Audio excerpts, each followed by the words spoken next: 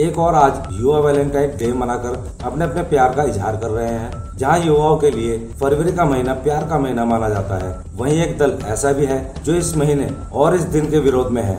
जी हाँ ऐसा ही देखने को मिला है उत्तराखंड की राजधानी देहरादून में, जहाँ बजरंग दल ने वैलेंटाइन डे के विरोध में अपना गुस्सा पुतला दहन करके दिखाया। इस दल का कहना है कि भारत की संस्कृति में वैलेंटाइन जैसे दिनों का कोई महत्व नहीं है। छोटे छोटे बच्चों में ये दिन अश्लीलता फैलाता है। इस दल के संयोजक ने अपनी नाराज़गी जताते हुए ये तक कह डाला कि सोशल मीडिया में इसे ऐसे मनाया जा रहा है जैसे दिवाली और होली जैसा त्योहार हो, वैलेंटाइन डे को छोटे बच्चे समझ नहीं पाते हैं और गलत रास्ते की ओर चलते हैं। प्रेम का इजहार सिर्फ़ प्रेमी या प्रेमिका से ही नहीं, बल्कि माता पिता भाई बहन से भी करें। अश्लीलता को बढ़ावा दिया जाता है हर बार।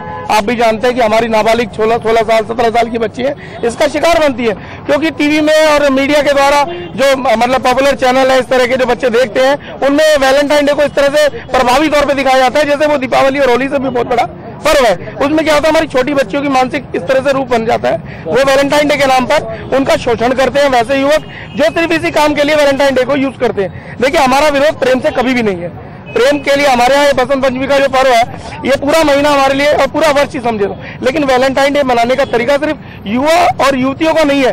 माँ बाप से प्रेम कर सकते हैं बच्चे भाई बहन से प्रेम कर सकते हैं, प्यार का इजार हुआ, लेकिन प्रेम के नाम पर जो अश्लीलता समाज में इस तरह चरम पर है, उसे हम कताबी बर्दाश्त नहीं करेंगे, चाहे उसके लिए हमको समाज ठेकेदारी क्यों ना कहे।